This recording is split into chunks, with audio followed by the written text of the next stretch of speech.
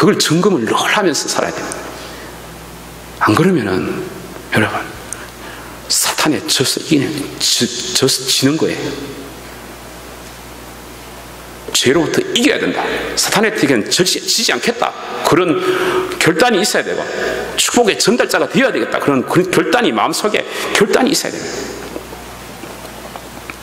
왜냐하면 우리는 이미 하나님으로부터 축복을 받았기 때문에 그 축복을 전달을 해야 되는 거예요. 여러분, 오늘 이 시간 하나님께 더욱더 가까이 나와서 하나님을 만나고 하나님의 인격을 우리가 받아들이고 하나님의 축복을 우리가 받아들이고 그래서 이 축복을 갖다가 전달해야 돼. 아브라함이 받은 그 축복을 우리가 받았어. 예수 그리스도를 통해서 받았어요. 그래서 이것을 우리가 전달을 해야 됩니다. 전달을 해서 우리는 축복의 전달자가 되겠다. 축복의 채널이 되겠다. 그런 더 이상 억울한 삶, 죄된 삶 살지 않겠다. 그죠?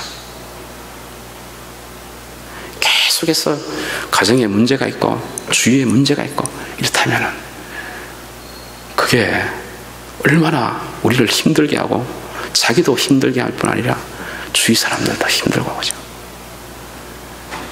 우리가 하나님을 만날 때 그런 모든 것이 청산됩니다. 청산되고 주님의 그런 기쁨과 그런 사랑을 받아들였어. 하나님께서 원하시는 그런 삶이 나올 수 있도록 자신이 만드는 것이 아니고 하나님께 나아갈 때 그러한 모든 일이 이루어지고 여러분들이 축복의 전달자가 되고 아브라함의 축복의 그런 대열에 합류하였어. 여러분들의 이름이 생명록에 기록되는 그런 역사가 있을 줄로 믿습니다. 다 같이 기도하시겠습니다. 기도하실 때 결단하는 시간 되었으면 합니다.